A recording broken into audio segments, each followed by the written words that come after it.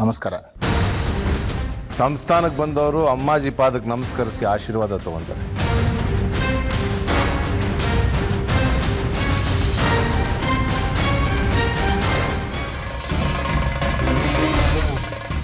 ಪರವಾಗಿಲ್ಲ ಗೌಡ್ರೆ. ಅವರು ಈ ಊರಿನವರಲ್ಲ. ನಮ್ಮ ಸಂಸ್ಥಾನದ ಭಕ್ತರು ಅಲ್ಲ. ರೀತಿ ಗೊತ್ತಿಲ್ಲದವರು ತಪ್ಪಾದ್ರೆ ದೋಷ ಇಲ್ಲ. ಕೂತ್ಕೊಳ್ಳಿ. ಥ್ಯಾಂಕ್ ಯು ಹೇಳಿ. ಬಂದ ವಿಷಯ? ಕಳೆದ ವರ್ಷ ನಾನು ಈ ಊರಿನಲ್ಲಿ ಒಂದು ಜಮೀನು ತಗೊಂಡಿದ್ದೆ. ಈ ಸಂಸ್ಥಾನಕ್ಕೆ ಸೇರಿದ ಜಮೀನು. ಒಂದು ಮೂರು ಎಕರೆ. ತಾವೇ ರಿಜಿಸ್ಟರ್ ಮಾಡಿಕೊಟ್ಟಿದ್ದೀರಿ. ಸಬ್ ರಿಜಿಸ್ಟ್ರಾರ್ ಅವರು ಬಂದು ತಮ್ಮ ಸಹಿ ಪಡ್ಕೊಂಡು ಬಂದಿದ್ರು. ನಾನು ಬಂದಿರಲಿಲ್ಲ. ಹಾಗಾಗಿ ತಮ್ಮ ಭೇಟಿ ಆಗಿರಲಿಲ್ಲ.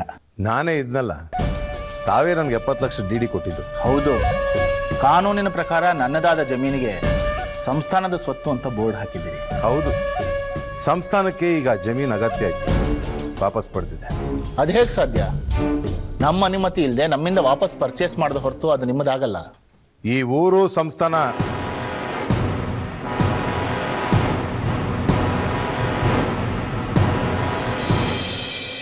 ಕಳೆದ ವರ್ಷ ಸಂಸ್ಥಾನದ ಬೊಕ್ಕಸದಲ್ಲಿ ತೀವ್ರ ಹಣದ ಕೊರತೆ ಇತ್ತು.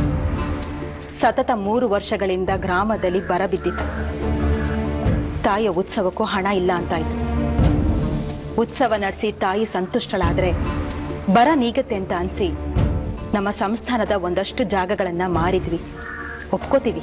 ಮತ್ತೆ ಈಗ ಈಗ ಪರಿಸ್ಥಿತಿನೇ ಬೇರೆ ಆಗಿದೆ. ನಿಮಗೆ ಜಮೀನ್ ಮಾರಿದ್ದು ತಾಯಿಗೆ ಅಷ್ಟು ಸಮಂಜಸ ಅಂತ ಅನಿಸಿಲ್ಲ. ಆ ದಿನದಿಂದಲೂ ಹಳ್ಳಿಯಲ್ಲಿ ಅಹಿತಕರ ಘಟನೆಗಳು ನಡೀತಾನೇ ಇವೆ.